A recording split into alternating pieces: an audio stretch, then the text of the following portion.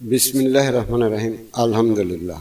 প্রিয় বিশ্ববাসী, ইহা যেমন তোমরা জানো যে দিনী যুগ বা কলের যুগ খারাপ যুগ, ইহা সেই খারাপ যুগ যেটাই বলো, কিন্তু ইহা সকল মানব জাতিকে সত্য জানারও যুগ, সত্য হওয়ারও যুগ। কোন সত্য? তারা এবার চিরঞ্জীবী আদম সত্যকে কামাই করবে এই মানব জীবন দ্বারা। আর আমি আদম নূর সেই মানব জাতিকে সেই আল্লাহর তরফের হেদায়তে এনে তারা যাতে সেই দিনী নূরের দিনী নফসি ধরে নফসি আল্লাহ হয়ে বলতে পারে, আনা নফসে আদম, আনা নফসে দিনী নূরে। এখান থেকে ঠিক সেই পথ করে দেওয়া হচ্ছে।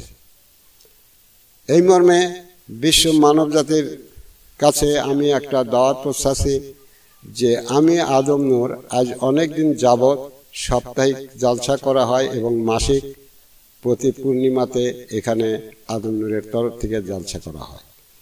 তার ভিতরে প্রতি বাৎসরিক একটা জালসা করা হয়, যেটা চৈত্র মাসের চৈত্র পূর্ণিমার দিন অনুষ্ঠিত হয়।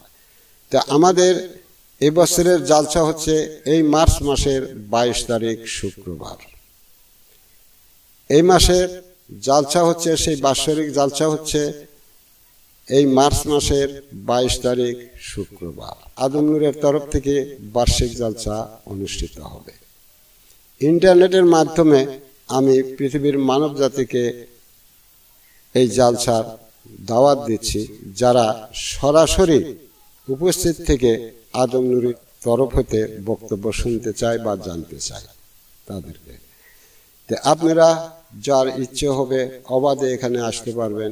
কোনো অসুবিধা নেই। সে যে জাতেরই হোক, যে ধর্মেরই হোক, আমার এখানে কোনো অসুবিধা নেই। কারণ সে যেখান থেকে আসুক, যদি এখানে স্বীকার করে, তার সব কিছু ফেলে দিয়ে তাকে সেই দিনই ইসলামের, দিনই নফসের উপর আসতে হবে। অতএব কারোর জন্য এই দরজা বন্ধ নেই। আমাদের সেই জালসা অনুষ্ঠিত হবে বাইশ তারিখ শুক্রবার। আর এই জালসাটি অনুষ্ঠিত হয় পোতাজিয়া গ্রাম মরহুম খৈমুদ্দিনের বাড়িতে বিলায়তি মসজিদ প্রাঙ্গণে। স্থানা সাজাদপুর জেলা সিরাজগঞ্জ। আপনারা যারা ইচ্ছুক যে আদমনুরের তরফ থেকে সরাসরি আমরা কিছু শুনব, জানব, তাদের প্রতি আদমনুরের তরফ থেকে দাওয়াত রইল, আপনারা আসবেন।